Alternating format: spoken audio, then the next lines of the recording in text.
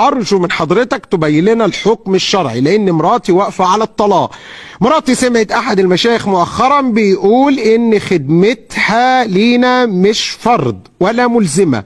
فإيه رأيكم في الكلام ده؟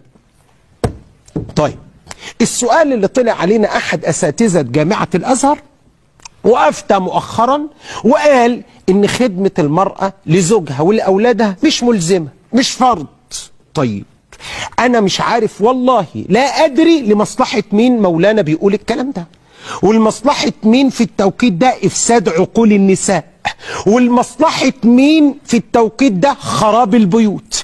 والمصلحة مين في التوقيت ده؟ إن إحنا بنهدم البيوت ولا سيما نسب الطلاق عندنا مرتفعة. ولأن الشيء بالشيء يذكر اسمحوا لي أن أحيي أستاذتنا الفاضلة نقيبة أطباء القاهرة اللي هي قالت كلماتها في حفل تخرج جامعة أسيوط طب أسيوط وقالت للبنات كده بيتكم قبل مهنتكم.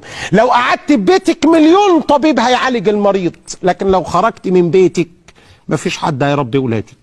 الدنيا كلها قايمة عليها من أول امبارح. ليه؟ لأنها قالت كلمة حق وبالمناسبة الست مش أزهرية والحمد لله حتى مش منتقبة. ده ست عادية خالص ومتمكيجة وطالعة بتقول للبنات تجربة حياة.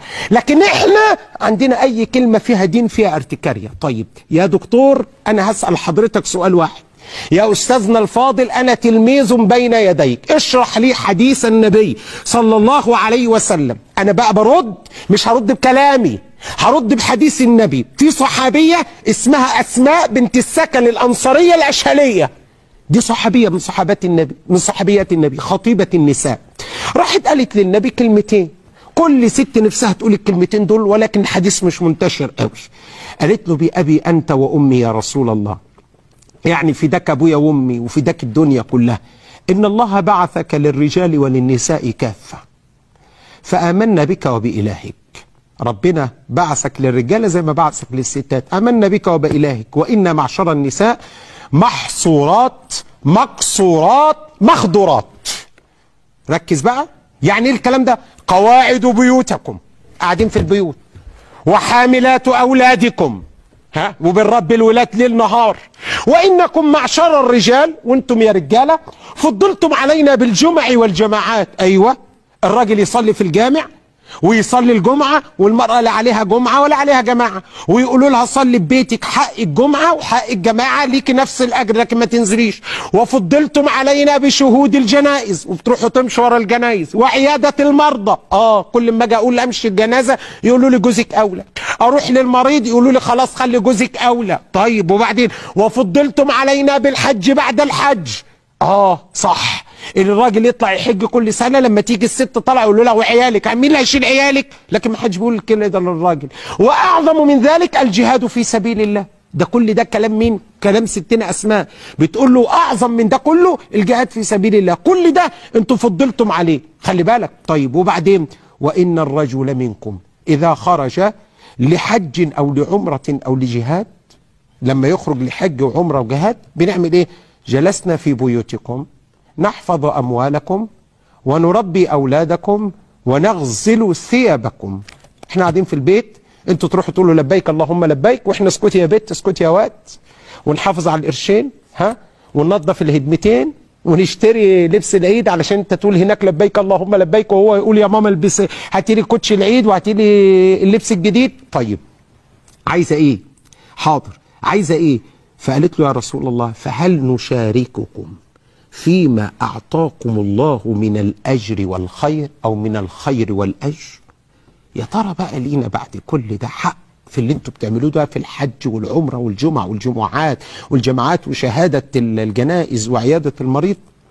فالنبي صلى الله عليه وسلم من أدبه لما كان حد يكلمه مش زي حالاتي. يعني انت مثلا وأنا داخل كده سيدي صلاح يا مولانا أقول له نعم كده. دي قلة أدب. لكن النبي كان مؤدب كان يلتفت بجملته يعني كله يتضير كله. ففي الحديث يقول فالتفت بجملته صلى الله عليه وسلم. يعني كله. ده دلالة على اهتمام النبي اهتمام بالغ. وبعدين أم قايل للصحابة هل تعلمون امرأة أحسن سؤالا عن أمور دينها من هذه المرأة؟ عمركم سمعتم في واحدة تسأل أسئلة بالجمال دي؟ قالوا له إحنا أصلا يا رسول ده الصحابيات والصحابة. قالوا إحنا أصلا ما خطرش في بالنا إن في واحدة تسأل السؤال ده أصلا. فسيدنا النبي صلى الله عليه وسلم قام مكلم ستنا أسماء اللي سألت وقال لها يا أسماء افهمي عني. يا أسماء افهمي عني. يا أسماء أخبري الدكتور الهلالي. يا أسماء أخبري أستاذ جامعة الأزهر بهذا الحديث علشان ما يفسدش البيوت ويخرب البيوت وحسبنا الله ونعم الوكيل. يا أسماء أخب... افهمي عني. أخبري من وراءك من النساء. قولي للي بعتينك عشان يسألوا السؤال ده. أن حسن تبعل المرأة لزوجها. أن حسن تبعل المرأة لزوجها. وطلبها لمرضاته. وابتغاء وابتغائها لرغباته. أو واتباعها لرغباته. واتباعها لرغباته. يعدل ذلك كله. يا الله اسمع النبي تاني. حسن تبعل المرأة لزوجها. ها وبعدين وطلبها لمرضاته. واتباعها لرغباته طبعا رغباته المشروعة مش رغباته غير المشروعة. الرغبات اللي هي في حدود التكلفة وفي حدود الطاقة. كل ده يعدل الجمعة والجماعات والجهاد والحج والعمرة وكل ده. يعني إيه؟ يعني بعبارة بسيطة. لما تأكلي عيالك وتلبسي عيالك وتنظفي جوزك وتنظفي بيتك وتتقي الله في بيتك أحسن عند ربنا من الجمع والجماعات ومن الجهاد في سبيل الله ومن الحج ومن العمرة ومن, ومن عيادة المريض ومن شهود الجنائز.